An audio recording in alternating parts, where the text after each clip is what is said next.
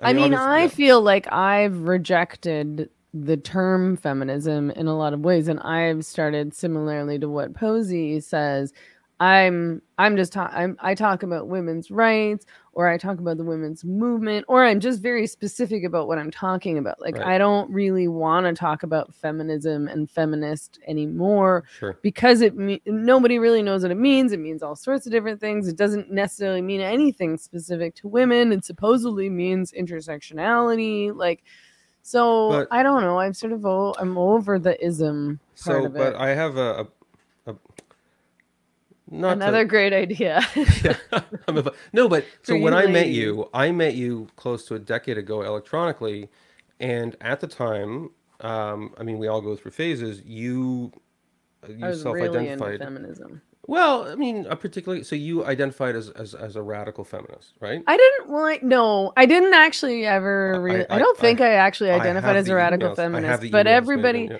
Well, yeah. I think what I would, I mean, I was aligned with radical feminists, and most of like, I would say like the foundation of my feminism was in radical feminism, but, and that was the kind of feminism that I was engaged it, in. It's not an accusation, but the only reason I mention it is because radical feminism, at least as I mean, I kind of learned about radical feminism from you, was radical feminism was tied up with a critique of capitalism, right? Is that you know there's all that there's a certain kind of conception of, of womanhood and femininity, which is like buy more makeup, buy more like clothes, get into fashion, get a boob uh, job, liposuction, like do all the things to your body that like men do, thinking it makes them look like women, right? Yeah. Like right. I mean, that's the thing. If you many so-called drag queen, well, I, actually drag queens are great for entertainment, but a lot of trans women look like women were supposed to look in a Sears Sears catalog like seven years ago, and a lot of, as I understand, radical feminism, I'm sure it's evolved, was a critique of that. But in the same way, like femi- even radical feminism was about this larger thing. It was about a critique of capitalism and consumer culture.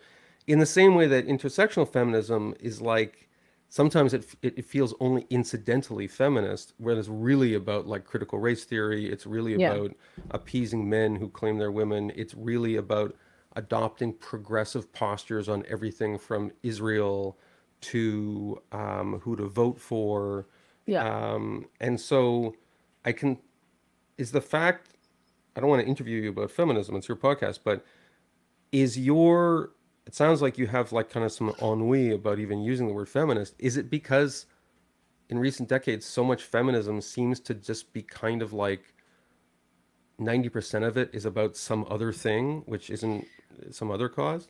It's partly that the I feel like the terms come to mean very little or is very confusing to people and has disassociated itself from women in many ways. But it's also that, like, I don't want to be attached to an ideology and I don't want my view of the world and my analysis and my understanding of what's going on to be driven by an ism. Like, I just want it to be driven by what makes the most sense um, and maybe what's the most ethical. So, I just started to find it limiting, honestly, which is funny because, you know, like, I don't know, five or 10 years ago, if somebody had said that, I would have been really angry. It's like, I don't want to be boxed in, but I don't want to be boxed in. I want to be able to, like, think what I think and support policies that I think are good policies and question things without and you know talk to whoever I want to talk to without being accused of not being a like good feminist which I was all the time. And so at a certain point, I was like, okay, well, then I'm not. And now can I just do what I want to do so, and think how I want to think? And and I found that feminists are very feminists are like very into purity politics and right. very into like the policing of what other women and other feminists are doing and they're very into cancel culture even the turfy gender critical ones so yeah. they just have the they don't like the gender identity ideology stuff and they don't want to be canceled over that but they'll cancel other people for all these other you know uh, you're a racist like you align with these men who are according to me a misogynist and you know that's an anti-feminist view or you're a capitalist yada yada yada and i don't i don't like that